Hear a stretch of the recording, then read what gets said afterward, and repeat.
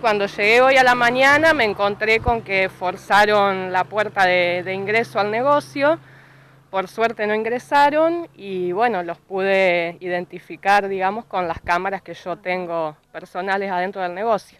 En este caso, ¿pudiste ver cuántas personas eran o por lo menos las que estaban a la vista de, la cámara? Y en el video se ven dos masculinos, es lo único que, que se puede ver por las cámaras. Hay como dato, por ahí se puede ver que hay un perro como que los está esperando, así que posiblemente sean de, de acá cerca, es lo que me imagino.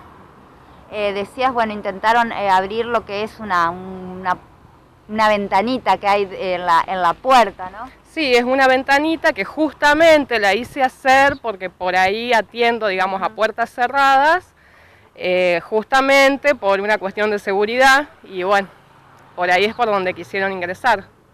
Eh, ¿Te había sucedido algo así? ¿Había sufrido algún robo en algún momento?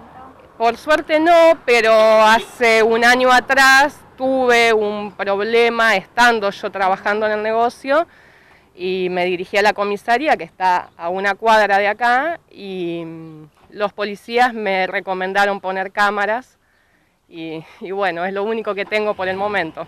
Con eso te, estás protegiendo, básicamente. Sí, y sí, con eso y atendiendo con la puerta cerrada, aunque haya clientes que no les guste la forma de atención, pero bueno, no queda otra. Y presencia policial no se ve ni durante la noche ni durante el día, acá cuando los negocios están abiertos tampoco se ve presencia policial, así que bueno, es como que desprotección y buscar la forma de seguridad que en la medida que cada uno puede.